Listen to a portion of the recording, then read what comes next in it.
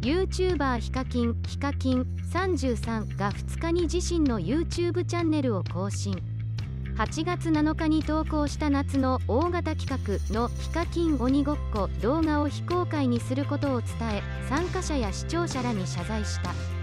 カキンは今年の夏の大型企画として8月7日にチャンネル登録者数合計6300万人以上オールスター参戦と掲げトップ YouTuber たちが参戦した鬼ごっこ動画を配信。ルールはヒカキンのマスクをかぶった鬼金軍団から逃げ切れたら100万円というものだ。富士急ハイランドを貸し切って開催された。動画は同日の午後7時に動画がアップされると同時接続数リアルタイムで視聴している人数が最大で28万人を超えるという規格外の数字を記録。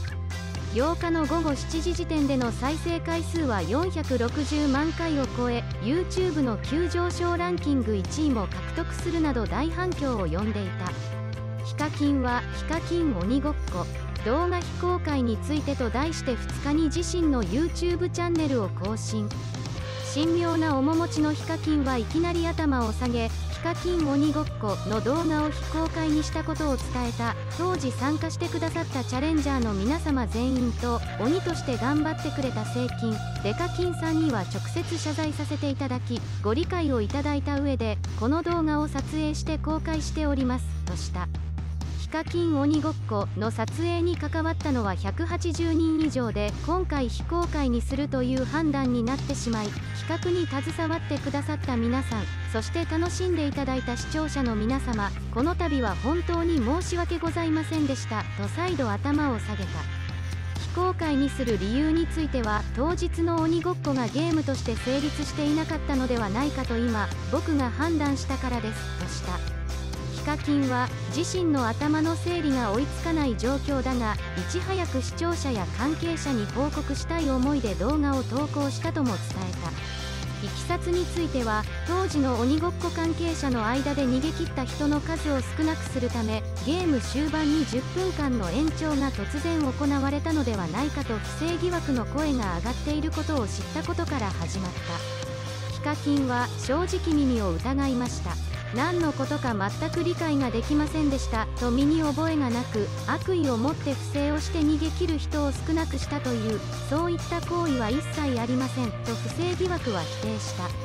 ただ不正疑惑の声が上がったことに僕自身が把握できなかったことが何か起きていた可能性もある。とすぐに現場での判断を一任していた制作スタッフに事実確認した。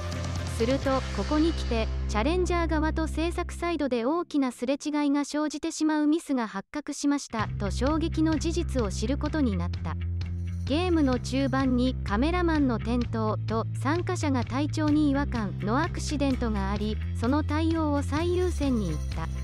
その結果中盤に約10分程度ゲームとしてうまく行われていない時間が発生してしまいましたと一部で10分間の中断も全体のゲームは進行しているという曖昧な時間が生まれていた。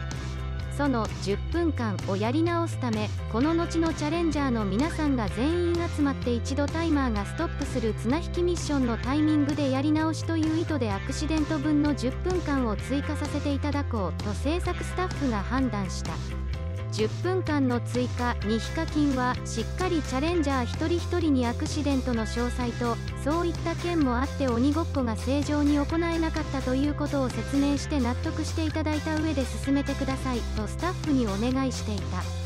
だがその説明をスタッフが怠っていたことが発覚したという。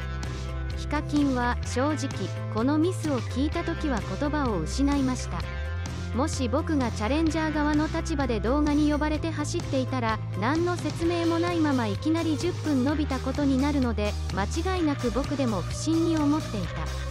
ですので逃げ切る人を意図的に少なくする不正だと言われても仕方のないミスだったと非を認め謝罪した。